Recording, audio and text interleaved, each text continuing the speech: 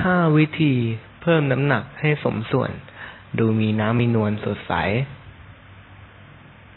ข้อหนึ่งเช็คค่า BMI ก่อนอื่น ให้คำนวณค่า BMI ก่อน ซึ่งวิธีนี้จะช่วยวัดความสมดุลของน้ำหนักต่อส่วนสูง ว่าน้ำหนักเราอยู่ในเกณฑ์ที่เหมาะสมหรือไม่ ด้วยสูตรตามนี้เลย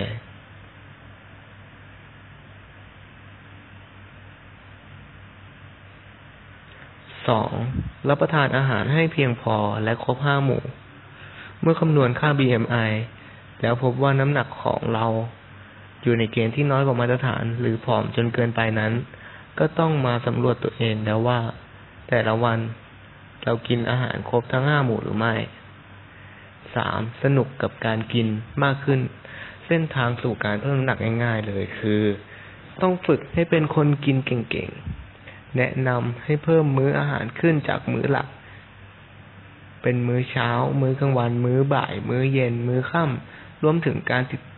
ติดตามแฟนเพจ หรือช่องทางโซเชียลเกี่ยวกับอาหาร เพื่อช่วยเพิ่มความรู้สึกอยากอาหารให้มากขึ้น สี่ออกกำลังกายสร้างกล้ามเนื้อสาวๆที่ผอมมาก หลายคนยังเข้าใจผิดอยู่ว่า ยิ่งออกกำลังกาย ยิ่งผอมลงเพราะรู้สึกว่าน้ำหนัก เพิ่มยาก แต่ลดลงง่ายมาก แถมบางคนก็กินเยอะ แต่ร่างกายก็เผาผลาญดีมากอีกด้วยทำให้ลาขาดจากการออกกำลังกายไปเลย แนะนำให้ออกกำลังกายประเภท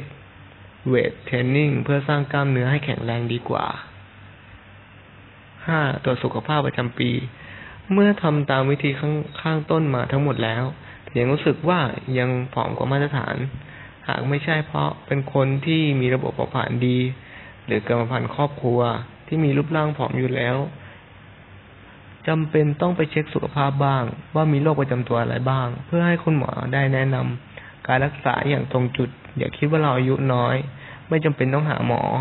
เพื่อสุขภาพของเราถือเป็นเรื่องสำคัญมาก ฉะนั้นไม่ต้องกลัวไปปรึกษาได้เลย ขอบคุณครับ